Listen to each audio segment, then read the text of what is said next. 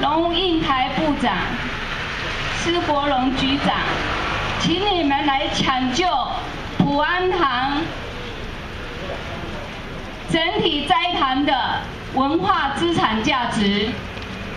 你们不能再用，你们不能再用私权争议作为理由。我们已经是把它当作公共的文化资产。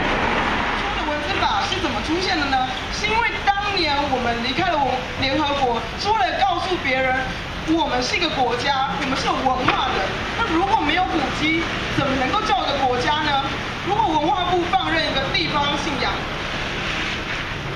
放放任一个符合相当符合文字法，它本来就是一个古迹的地方遭到破坏，那么我们认为，那我那我们认为，现在的现在的文化部所保护的任何文化资产，它旁边都要加一个刀字。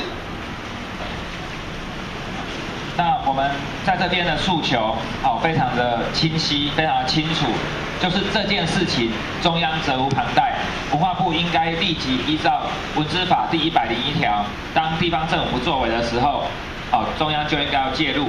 那只有现在目前只有中央来把它指定为暂定古迹开始审议。我们今天谈的是全区保留这四个字，他看不懂吗？